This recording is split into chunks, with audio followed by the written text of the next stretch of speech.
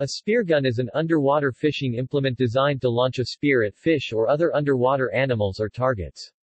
Spearguns are used in sport fishing and underwater target shooting. The two basic types are pneumatic and those powered by rubber bands. Spear types come in a number of varieties including threaded, breakaway and lined. Floats and buoys are common accessories when targeting larger fish. Components the basic components of a speargun are a spear, a stock or barrel, and a handle or grip containing a trigger mechanism. Spearguns are usually from 0.5 to 2 meters 1.6 to 6.6 feet long, round or roughly rectangular from 28 to 75 millimeters 1.1 to 3.0 in, in diameter, width. Types of spearguns The two most common types are rubber, or band-powered, which are the simplest and cheapest to maintain, with rubber being the predominant type, and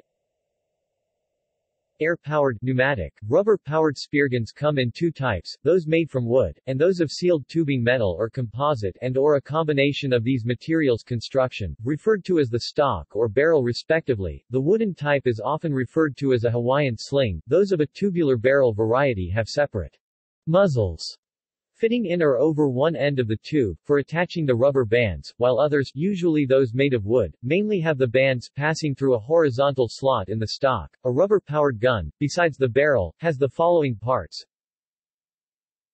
A spear, being a steel shaft slightly longer than the stock per barrel of from 6 to 10 mm 0.2 to 0.4 in, in diameter, which lies on top of the barrel or in a track or groove on the top, and a trigger mechanism to engage the spear, usually in or near a handle or grip at or near the rear, to keep the gun in a loaded state of readiness when it is loaded.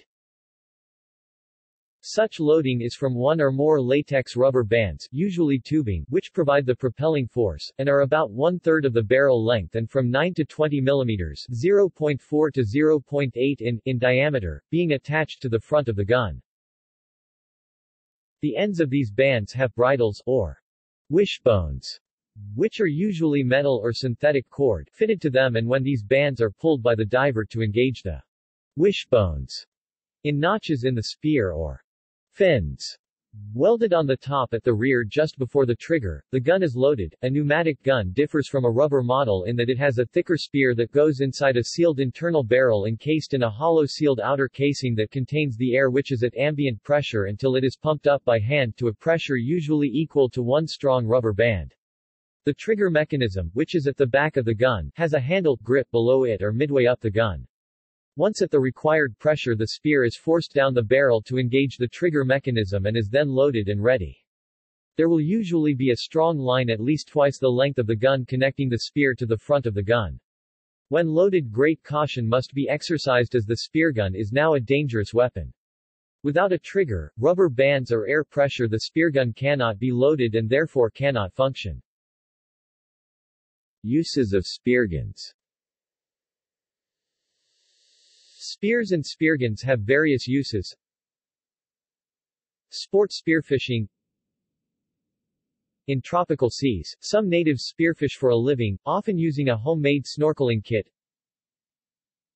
As a weapon, as in the planned hijacking of Federal Express Flight 705, Underwater target shooting spearguns have a trigger mechanism that holds a spear in place along the barrel.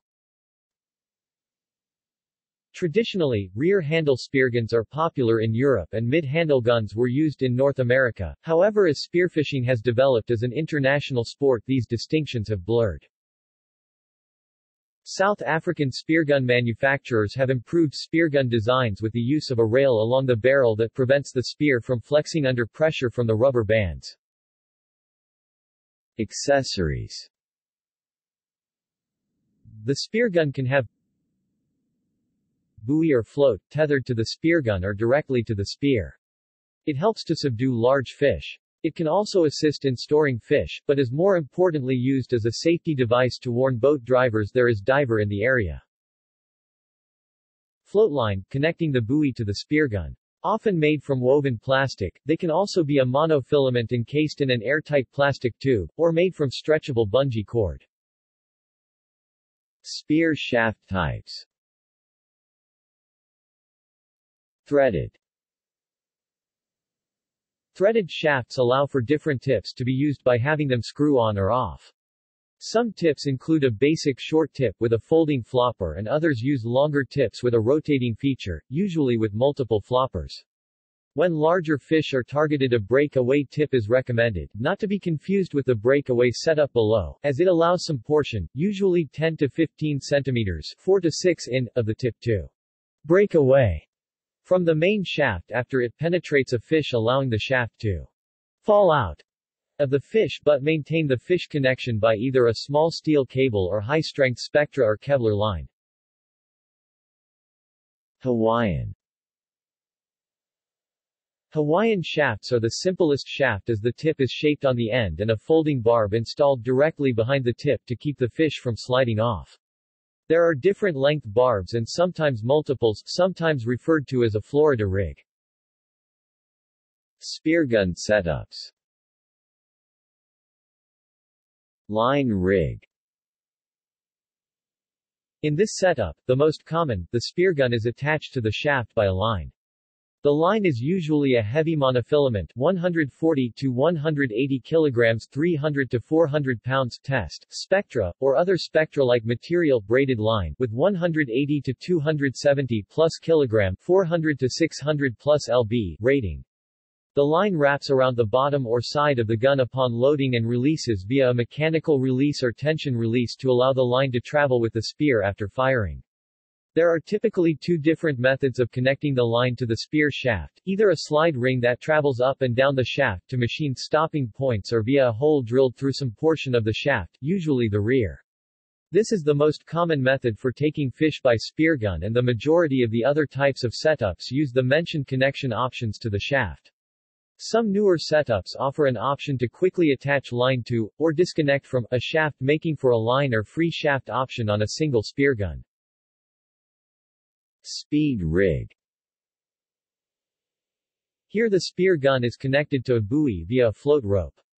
After spearing a fish, the spearfisher detaches the float rope and uses a speed stick, a metal spike, attached to the float rope to thread the fish onto the float rope through its gills. The fish will then gradually slide up the float rope as the diver swims until it rests underneath the buoy.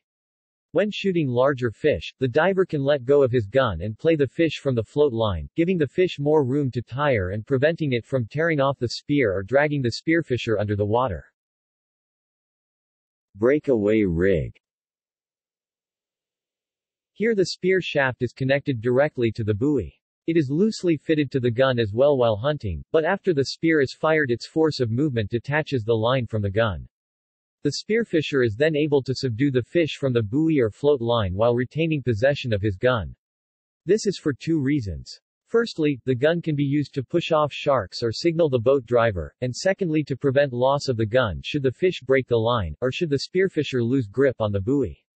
This setup can be used in conjunction with elastic bungee-style rope and a bodyboard-style float with locking cleats.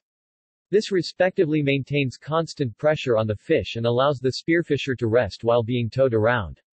They can then gather the bungee line as the fish tires and lock it off in order to gradually pull the fish closer. Reel on gun Here the gun has a line reel like on a fishing rod. After spearing a fish, the reel unwinds, allowing the spearfisher room to play the fish. Reel setups are useful when ocean structures such as built-up reef or kelp gardens prevent the spearfisher from towing a buoy. Free shafting Here the spear shaft is not connected to a gun or buoy. This is more commonly associated with spearfishing on scuba where excess cable or line can be problematic. Also it can be used in the areas with exceptionally clear water, where underwater hunter can track his shaft after firing it. It is not used in turbid waters with poor visibility. Riding rig here, the spear shaft is connected to monofilament or other small high-strength line, which is wrapped around the spear gun, then connected to a larger, easier-to-handle rope which the diver holds in his hand. On the larger rope, there is a loop on the end big enough for the diver's thumb. The rope is placed on the thumb, then wrapped around the back of the hand.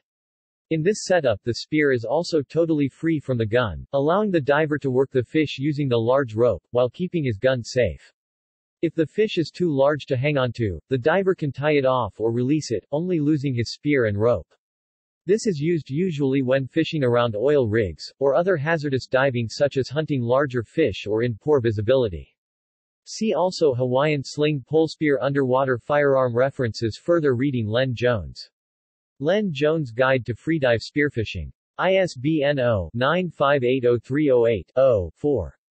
Terry Maas 1998. Bluewater Hunting and Freediving. Ventura, CA, Bluewater Freedivers. ISBN 0-9644966-3-1.